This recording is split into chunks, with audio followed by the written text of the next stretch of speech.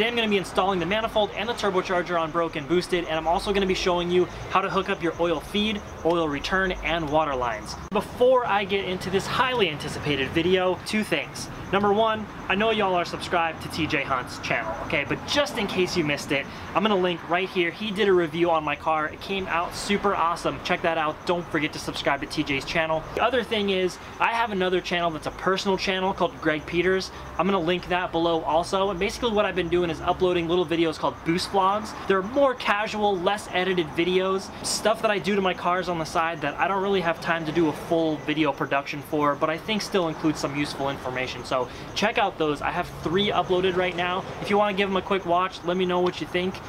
Let's quit chatting and get into it. Go ahead and remove your AFM, your airbox, and your crossover tube just to generate some more space. There's just a couple 12 millimeter bolts and a hose clamp to get this thing out of here.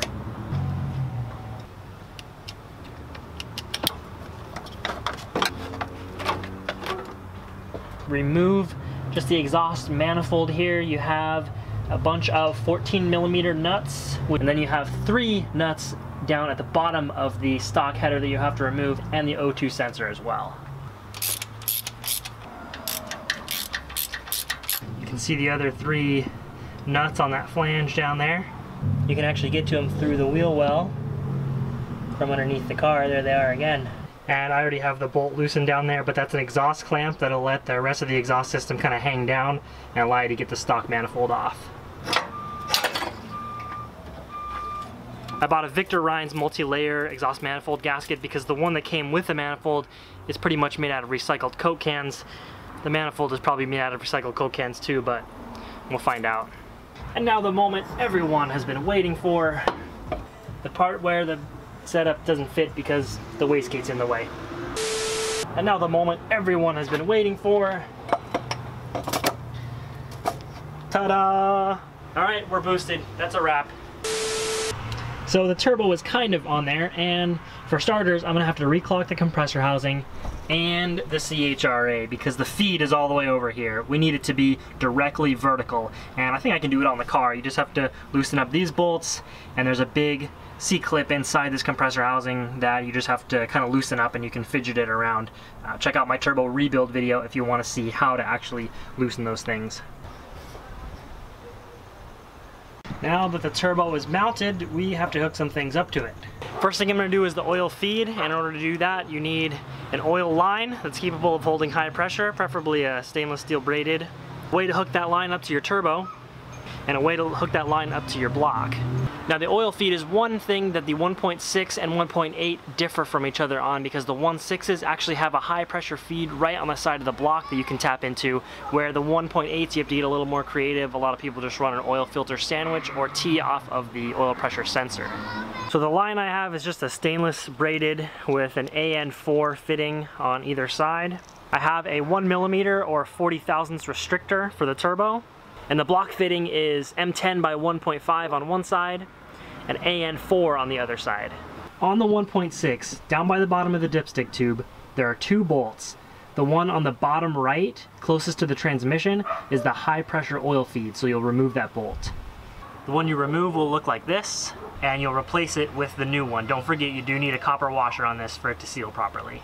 Your restrictor, which mind you, the size could be different for different turbos. I run this size restrictor, 40 thousandths, one millimeter on both the China Turbo and the Garrett on my other car, and it seems to work. So that'll go right into your turbo. Typically the restrictor side faces up. And then just hook the line up to the turbo and to the block. Next up is the oil drain. You need a way to get the oil out of the turbo. These things right here, just search on eBay, T25 oil drain, T3 oil drain, TD04, whatever you got, you'll get a bunch of results like this. This is just for hooking up a rubber hose to.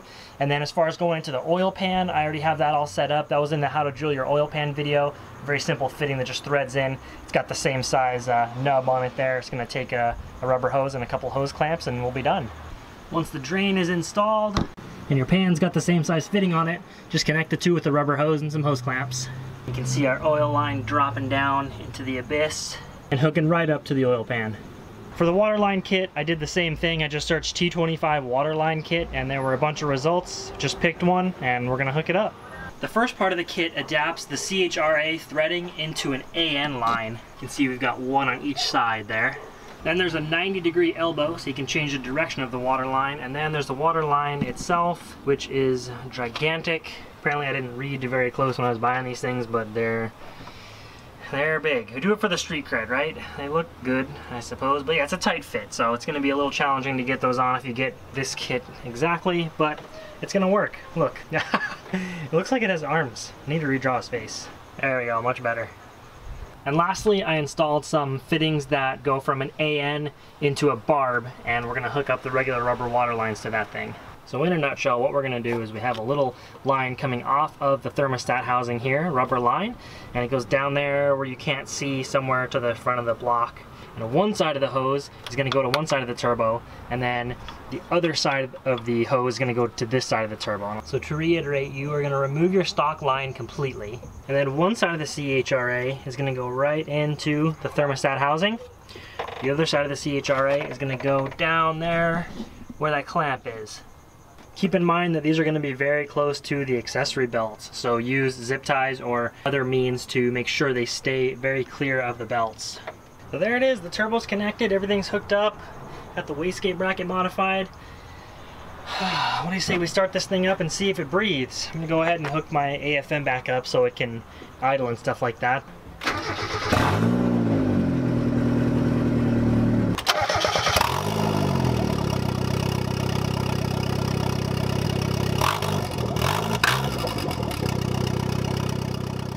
So now that that's on there, I can finally get to intercooler piping part two, which is gonna finish off the plumbing and show a few essential connections and line routing.